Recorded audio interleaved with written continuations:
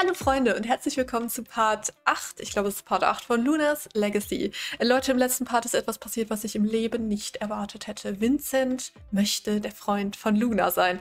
Äh, damit habe ich wirklich nicht gerechnet, Leute, weil ich habe echt gedacht, wir können an der Stelle dieses Kapitel Vincent abschließen, aber das Spiel meint es mal wieder anders als ich. Also ich war wirklich der festen Überzeugung, dass wir das Ganze beenden können im letzten Part, aber nein, Vincent ist weiterhin Teil unseres Lebens. Juhu. Ähm, naja, aber vielleicht hat er sich verändert. Ich kann jetzt, wie gesagt, nicht auf die Kommentare eingehen, die mir unter das letzte Video geschrieben habt, denn ich nehme direkt im Anschluss an das, nächste, äh, an das letzte Video auf, weil ich am Donnerstag keine Zeit habe aufzunehmen an dem Tag, wo ich normalerweise aufnehme. Egal. Auf jeden Fall wisst ihr Bescheid. Ich äh, kann jetzt auf die Kommentare noch nicht eingehen. Ich bin sehr, sehr gespannt, was ihr unter das Video geschrieben habt, denn äh, das ist wieder so alles so verwirrend und komisch. Und naja, wir starten auf jeden Fall direkt mal den Part, denn wir haben natürlich jetzt wieder einiges, was auf dem Plan steht und was ich ganz gerne machen möchte. Und ich wünsche euch ganz viel Spaß. Wir sehen hier eine ganz fleißige Luna, denn sie äh, ist jetzt hier gerade ganz fleißig dabei, ihre Wäsche zu machen. Unser armer kleiner Salem, den ihr da, den ihr da gerade im Hintergrund gesehen habt, ist leider krank. Das heißt, wir werden nachher auch mal zum Tierarzt fahren müssen. Was wir jetzt weiterhin in diesem Part machen, Leute, weiß ich noch nicht so genau. Also Luna wünscht sich ein Techtelmechtel im Busch. Das werden wir natürlich mal wieder ähm, hier festhalten, weil wer weiß, wer weiß. Ich meine, sie hat immerhin jetzt einen festen Freund und wer weiß, was äh, da eventuell dann passiert passieren könnte. Ähm, naja, auf jeden Fall ähm, werden wir dann jetzt gleich mal zum Tierarzt uns äh, auf den Weg machen. Wir werden jetzt gleich hier nochmal die Petersilie ernten. Vielleicht werden wir nachher auch nochmal ins Reich der Magie reisen. Vielleicht können wir den einen oder anderen Zaubertrank dann eben noch lernen. Ja, also Leute, wie gesagt, ich bin völlig verwirrt, weil ich eigentlich ganz äh, gedacht habe, dass Vincent nicht mehr lange ein Teil unseres Lebens sein wird. Dass Vincent eben der, der miese Charakter sein wird, den wir immer hassen werden. Aber dem ist wohl nicht so. Er ist, vielleicht hat er sich wirklich komplett verändert, Leute. Ich weiß es wirklich nicht.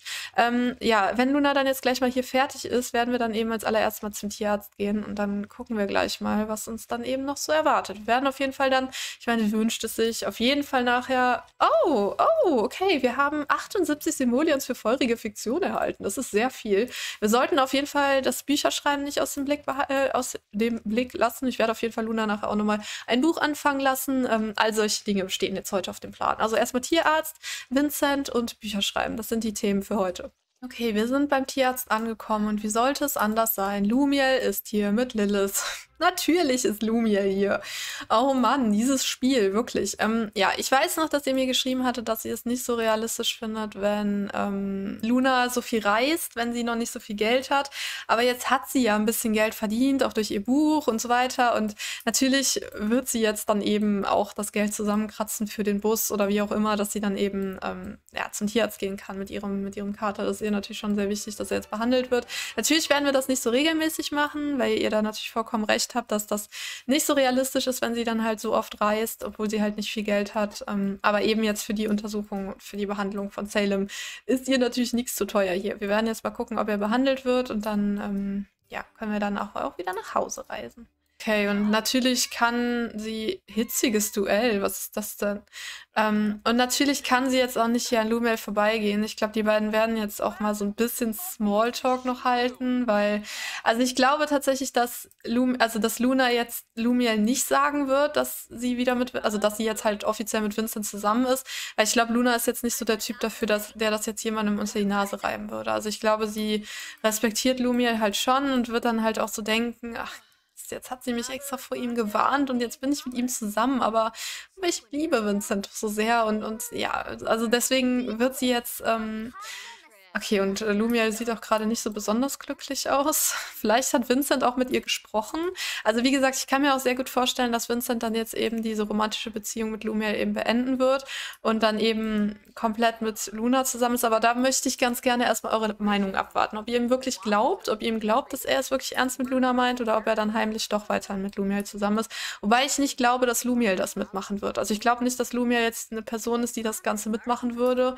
Also jetzt alleine schon, um sich selbst zu schützen, weil sie eben keinen Bock hat auf so einen Typen, der in zweigleisig fährt. Dadurch, dass sie jetzt eben weiß, dass er, okay, Lumiel scheint fertig zu sein. Unser armer Salem ist hier irgendwie immer noch in dieser Pfütze am Liegen. Kannst du mal bitte unser Tier behandeln? Hm, also ich glaube, ihr wisst, worauf ich hinaus will. Ne? Also ich glaube jetzt nicht, dass Lumiel halt weiterhin mit Vincent zusammen sein möchte. Also jetzt nicht wegen Vincent, nicht, dass Vincent irgendwie nicht mehr mit ihr zusammen sein will, sondern einfach, weil Lumiel das nicht mehr möchte, was man auch vollkommen verstehen könnte. Hast du ihn angemeldet? Ja. Okay, also irgendwas läuft hier gerade komplett schief. Niemand möchte unser Tier behandeln, aber ich sehe gerade, Mark ist jetzt nach hier gekommen. Und sie unterhält sich jetzt hier gerade so ein bisschen mit Mark ähm, und möchte dann die Toilette säubern. Luna, kann mal bitte, kannst du mal bitte irgendwie dafür sorgen, dass sich irgendjemand um dein Tier kümmert? Das kann ja nicht wahr sein. Halleluja, es funktioniert. Okay, irgendwie war es gerade eben verbuggt. Ich musste jetzt gerade das Spiel nochmal neu starten.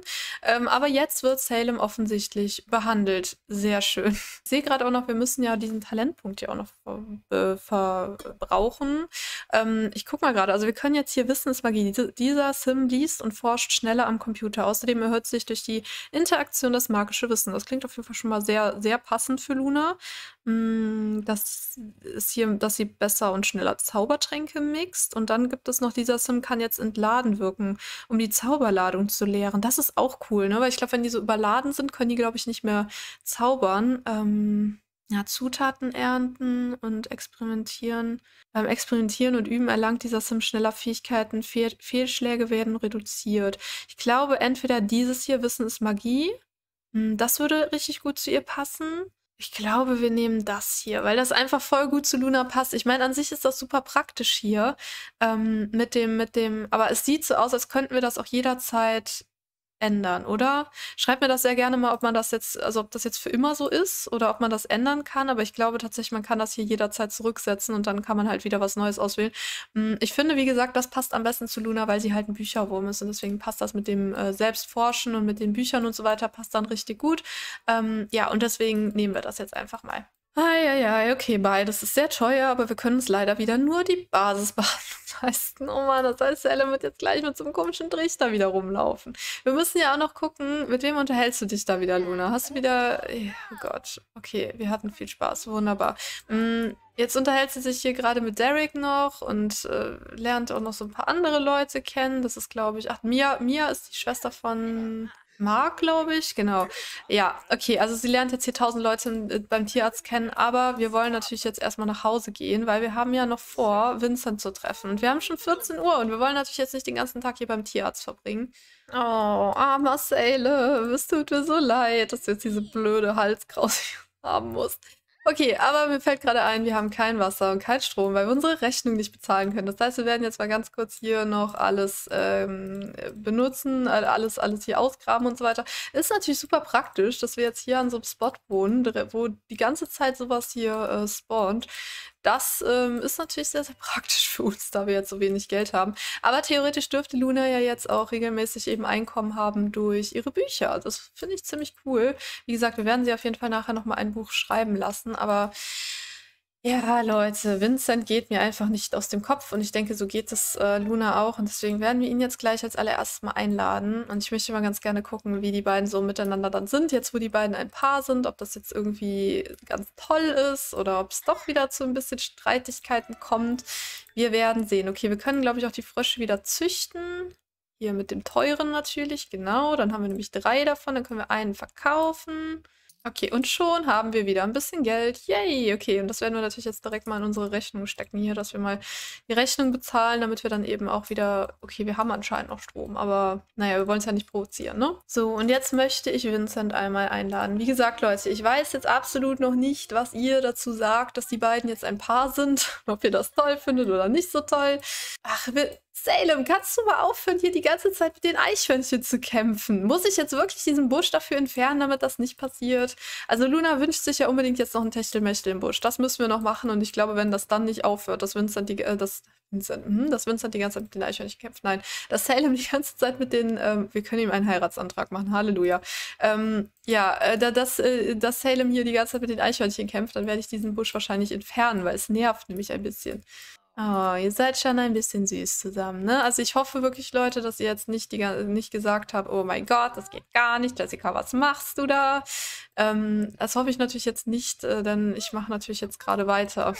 Okay, und äh, da die beiden ja jetzt so verliebt miteinander sind und gerade ein zweideutiges Gespräch entstanden ist, äh, können wir gerade nicht in den Busch hüpfen. Warum können wir nicht in den Busch hüpfen? Ich meine, sie kann ihm sogar einen Heiratsantrag machen. Scheint geht das mit dem Busch irgendwie nicht. Techtelmechtel, dann macht das einfach mal so. Weil jetzt, wo die ein Paar sind, ne? Und hat er Lust? Natürlich. Okay, Vincent steht hier gerade neben uns und ruft uns an, ob wir Bock auf eine Verabredung haben. Nee, eher nicht so, weil du bist nämlich gerade schon bei uns. Eieiei, Luna hat ihr allererstes Techtelmechtel und er hat ein Kondom verwendet. Halleluja. Und äh, ja, Luna hat jetzt ihr aller, allererstes Techtelmechtel mit Vincent und ich hoffe, das war jetzt kein Fehler, weil, ähm, ja, weil Vincent halt vielleicht nicht so gut ist, wie wir denken, aber vielleicht auch doch und ach, ich bin verwirrt. Dieser Typ ist wirklich einfach nur verwirrend. Und hier gratuliert uns jemand zum neuen Freund. Sehr schön. Okay, wir müssen diesen Busch entfernen. Das nervt mich so sehr. also Salem wird die ganze Zeit von irgendwelchen Eichhörnchen gebissen. Das kann ja nicht wahr sein. Und dann können wir nicht mal Techtelmechtel in diesem Busch haben. Okay, also wie geht's Luna? Wunderbar. Es war wunderschön für sie und sie ist immer noch total verliebt in Vincent. Halt mal ein bisschen mit ihm Händchen und seid mal ein bisschen süß miteinander, weil ihr seid ja voll verliebt und voll äh, verschwitzt. okay. Äh, und voll glücklich miteinander. Deswegen, ähm, ja, knuddelt noch ein bisschen und dann, ja. Ich glaube, dann werden wir Vincent nach Hause schicken, weil ich glaube, Luna will tatsächlich jetzt auch noch ein bisschen für ihr Magiestudium tun. Also ich glaube, dass sie, selbst wenn sie einen Freund hat, halt das alles nicht so ganz aus den Augen lässt, dass sie halt trotzdem noch, ähm, dass es ihr halt trotzdem noch wichtig ist, dass sie eben mit dem Magiestudium eben weiterkommt. Und deswegen werden wir dann vielleicht jetzt gleich noch, ähm, haben doch so ein Buch gekauft, wo man irgendwas lernen kann. Genau, hier Foliant, äh, weil das hat sie ja als Aufgabe bekommen von ihrer Mentorin, dass sie eben dieses Buch lernen soll. Das ist ja ihre ähm, Hausaufgabe quasi gewesen, dass sie jetzt eben diesen neuen Trank, ich glaube, es ist ein Trank, ne, dass sie den eben lernen soll. Und das wird sie natürlich jetzt direkt mal machen und äh, wird vielleicht jetzt auch mit Vincent so ein bisschen hoffen, dass er vielleicht ein bisschen mit ihr zusammen lernt, weil er ja auch Magie studiert und ich glaube, Vincent hat aber gerade gar nicht so Bock drauf. Also ich glaube, er ist da nicht so ambitioniert bei der ganzen Sache, aber man weiß es nicht, Leute. Ihr merkt vielleicht, dass ich ihn vielleicht immer noch nicht so ganz positiv einschätze, aber ich irre mich vielleicht ja auch total. Das kann ja sein. Yay! Luna hat ein neues Zaubertrankrezept gelernt und eine Probe gefunden. Ein Zaubertrank Übelkeit wurde ihrem Inventar hinzugefügt. Okay, dann gucken wir mal. Was hat Salem gerade zu uns gesagt? Du hast ein neues Zaubertrankrezept gelernt? Du bist ja so klug. Wie süß. Danke, Salem. Ist das normal, dass er das sagt? Das ist ja sehr niedlich, okay. Aber er ist ja unser Begleiter wahrscheinlich deswegen, dass sie mit Salem sprechen kann. Das ist, das ist schon ein bisschen witzig. Mm, ja, okay. Wie, wie geht dieses Zaubertrankrezept? Okay, wir brauchen eine Alraune und einen Erdfrosch. Das sind wieder so Zutaten, Leute, die wir natürlich jetzt nicht haben. Das ist schade. Aber gut, okay, wir werden vielleicht irgendwann mal auf eine Alraune stoßen. Ich glaube, ach nee, haben wir nicht sogar Alraunen? Haben wir nicht sogar Alraun? Wir haben doch Alraun, ne? Wir haben doch Alraun, meine ich, hier gefunden, genau. Das heißt, die sollten wir auf jeden Fall mal pflanzen, weil aktuell ist ja Frühling. Und wenn wir die jetzt hier pflanzen, dann können wir nämlich mehr Alraun haben. Und vielleicht brauchen wir dieses Rezept mit der Übelkeit ja noch.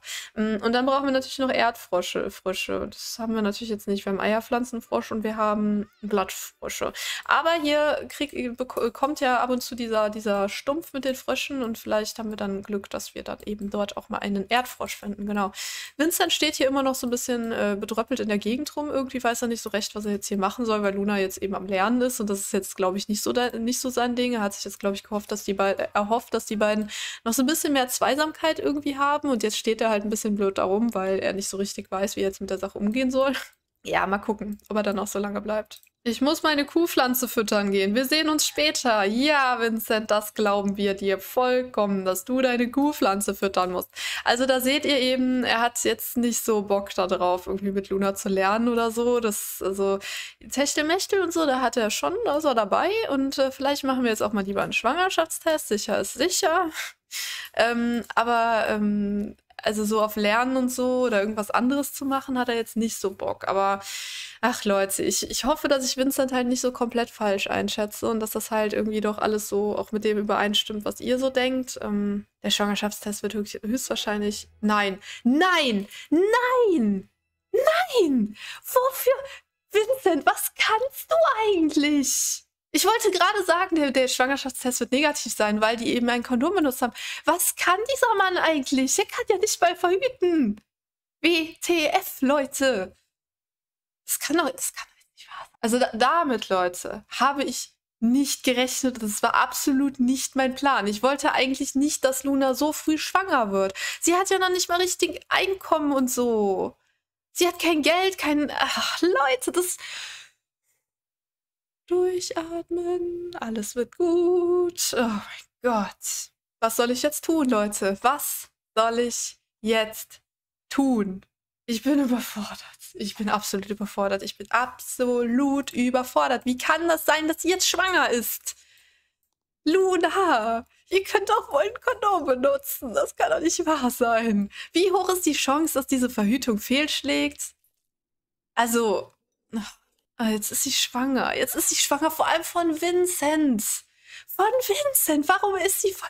Okay, freundlich zu Vincent sein. Sei mal äh, in Zukunft sehr freundlich zu Vincent, Luna, weil ich weiß nicht, wie er das findet, wenn er jetzt Vater wird. Also, ich meine, daran werden wir jetzt dann natürlich nochmal richtig krass sehen, was, äh, also ob er es ernst meint mit Luna. Ähm, also, Leute, für mich, also wir müssen das Ganze jetzt mal aus Lunas Perspektive sehen. Wir müssen das Ganze ja jetzt mal aus Lunas Perspektive sehen. Also, Luna ist total verknallt in Vincent. Sie ist mit ihm zusammen jetzt und sie ist glücklich mit ihm und so weiter. Und jetzt sind die beiden auch noch ein Paar. Und jetzt hat sie gerade erfahren, dass sie schwanger ist. Natürlich kommt das jetzt erstmal überraschend. Was ist überhaupt ihr Schwangerschaftswunsch? Ich habe da noch gar nicht nachgeguckt. Okay, sie ist neutral. Mm, und deswegen, also dadurch, dass sie eben neutral ist, denkt sie sich so, ah ja komm, jetzt ist es halt passiert. Also natürlich ist es überraschend für sie, aber ich glaube, jetzt ist es ist jetzt nicht so, dass sie jetzt denkt, oh mein Gott, jetzt bin ich schwanger, das ist ja schrecklich. Ich glaube, dass Luna schon immer Kinder wollte und ich kann mir auch vorstellen, dass Luna eben eine große glückliche Familie gerne haben wollte. Vielleicht nicht unbedingt so früh, aber dass es jetzt eben passiert ist, ist für sie in Ordnung. Ne?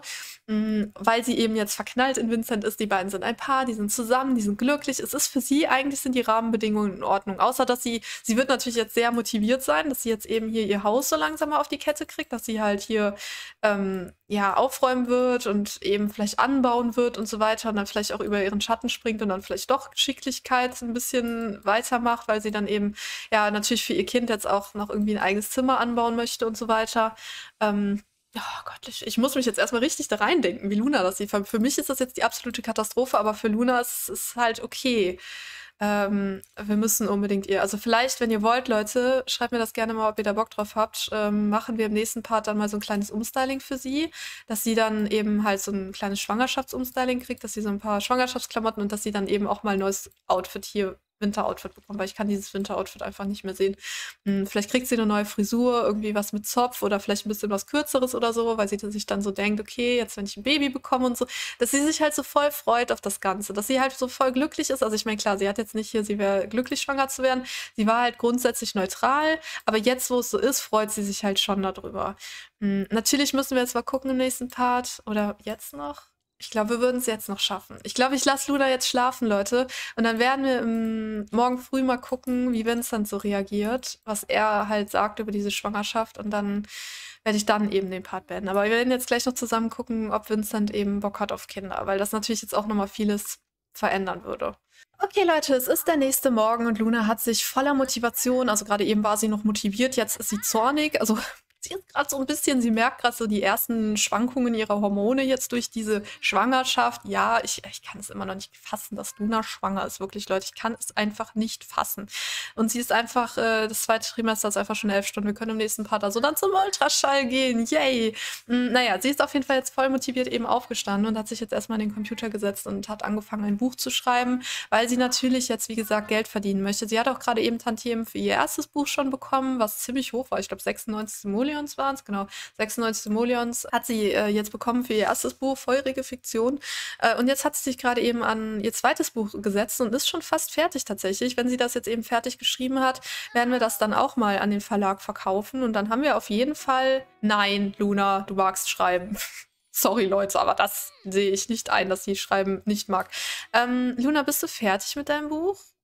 Ja, sie hat ein Buch geschrieben. Okay. Äh, hatte sie da jetzt gerade keinen Bock drauf? Ne? Ich meine, sie hat jetzt glaub, wahrscheinlich gerade so ein bisschen das Gefühl gehabt, ist das Schreiben vielleicht wirklich das Richtige für mich oder doch nicht, weil sie jetzt eben gerade so zornig war und die ganzen Hormone sie überrannt haben und so. Und aber natürlich, Luna, das Schreiben ist das Richtige für dich. Das haben wir so entschieden. Du kannst dich jetzt nicht dagegen wehren. Äh, sie wird jetzt ihr Buch wieder an den Verlag schicken und ich hoffe, dass es in Ordnung ist. Das war jetzt Qualität nur normal, aber ich meine, sie wird ja trotzdem dann eben ähm, Tantiemen für dieses Buch bekommen.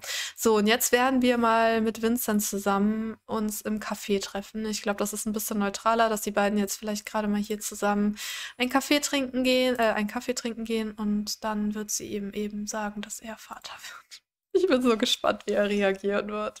Okay, die beiden sind hier und wir tun jetzt einfach mal so, als würde man nicht ganz offensichtlich sehen, dass Luna schwanger ist. Wir werden jetzt mal hier um einen Tisch bitten und äh, werden uns dann einen Kaffee zusammen gönnen. Morgens um 11 Uhr, ist doch wunderschön. Vin äh, Luna wird eben gesagt haben, Vincent, hast du Lust mit mir zusammen zu frühstücken? Und da Vincent ja auch voll verliebt in sie ist und so weiter, ähm, wird er gesagt haben, ja klar, lass uns zusammen frühstücken. Und der wird noch gar nicht ahnen, was ihm jetzt gleich offenbart wird hier. Und natürlich sitzt mal wieder Familie Shepard hier am Nebentisch. Wir ignorieren das jetzt einfach mal, dass der Lanom und ähm, Elio. Ich finde es spannend, dass Elio, okay, vielleicht macht Elio gerade Urlaub bei Stella, das kann natürlich sein.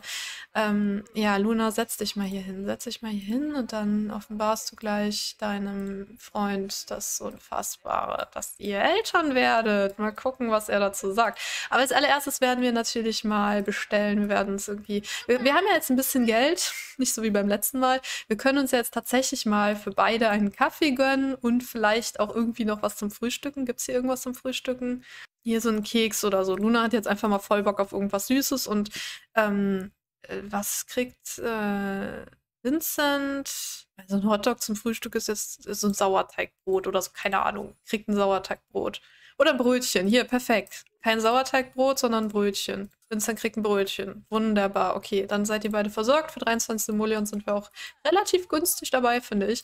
Hm, werd jetzt erstmal ein bisschen süß zu ihm sein. Hier mal so ein bisschen flirten und dann, damit er jetzt direkt mal gute Laune hat und dann äh, kannst du ihm einen Kuss hauchen. Und dann werden wir es ihm offenbaren. Dann werden wir ihm sagen, dass wir Eltern werden. Ähm, oh, oh, auf einmal können wir den Verdacht über einen bestimmten Sim äußern. Das ist ja spannend. Das ist ja spannend. Ähm, Luna, kannst du mal bitte sitzen bleiben? Okay, Moment, Leute. Ich muss jetzt erstmal gucken, gerade was man hier alles machen kann. Sie wird sich jetzt für ihre Reizbarkeit entschuldigen.